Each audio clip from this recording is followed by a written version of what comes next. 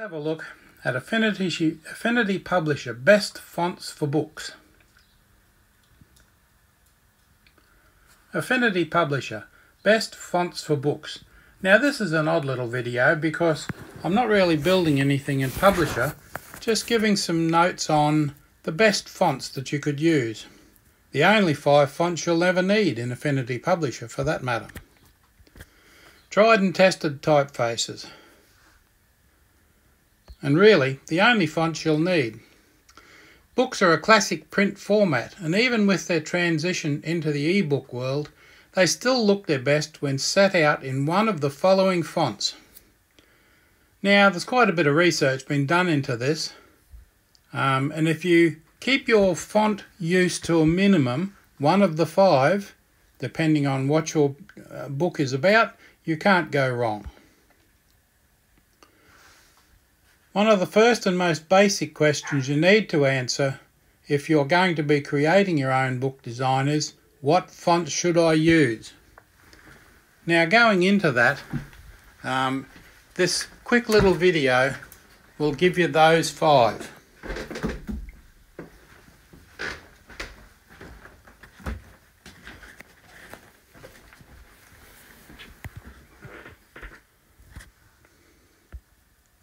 The first one, for literary fiction for example, is Baskerville. Now, I'm sure you're all familiar with Baskerville. A transitional serif typeface which borrows from its old style predecessors, like Caslon, which you'll see below. Baskerville brings together the best of two worlds, classic and modern. It's elegant and intellectual, but highly readable especially when set at small size, which makes it the perfect choice for literary fiction, and for ebooks for that matter, because you can reduce the size considerably and it's still readable. Number two, for romantic fiction, is Sabon, or Sabon, depending on which school you went to. Whether it's a classic Austen reprint or a contemporary teen romance, you want to find a typeface with femininity and elegance in abundance. Enter Sabon, a 1960s update on Claude Garamond's design.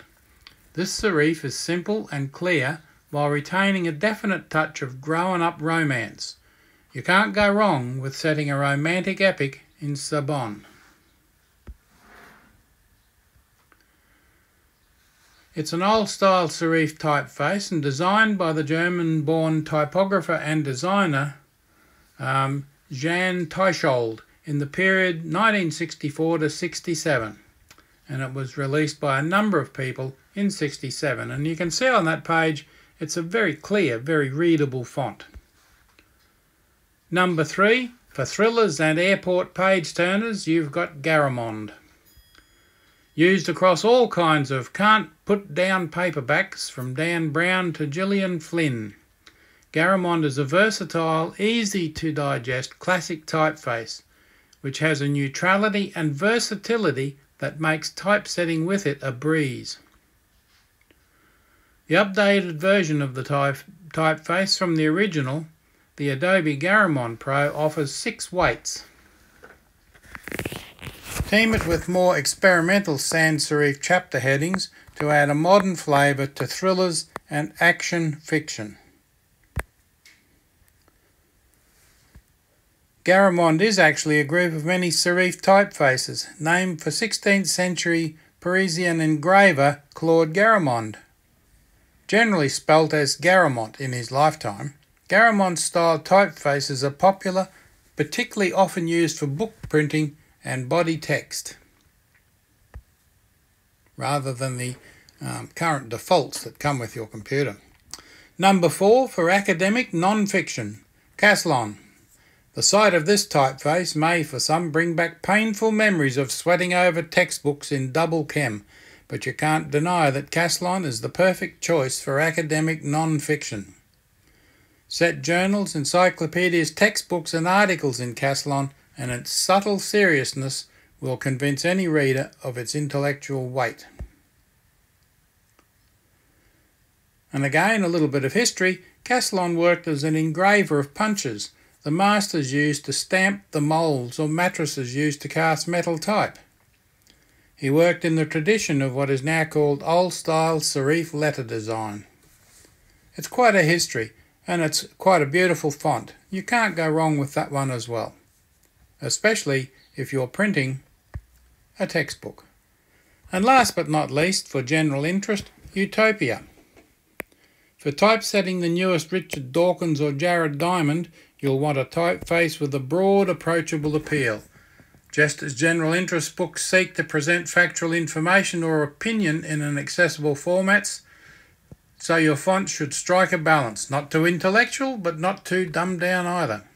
Typesetting devotees will no doubt still turn to a loyal serif for the task, and Utopia strikes the balance perfectly. Utopia is, of course, for general interest. It qualifies as a transitional serif typeface based on 18th and early 19th century ideals of classical DES. Adobe's release notes cite Baskerville and Walbaum as influences, and Adobe's Sumner Stone has also compared it to Hermann Zapf's Melior. With a reasonably solid design, Utopia was sometimes used by newspapers, and you can see why. It's a straight, very readable print. Now, if you're looking for the clickable links, I'll put these in the description, or you could type them out if you want to spend the time. But you'll find all these fonts, Baskerville, Sabon, Garamond, Castellon and Utopia, free for download at those addresses. Thank you for watching. Remember to subscribe to my channel. Much appreciated.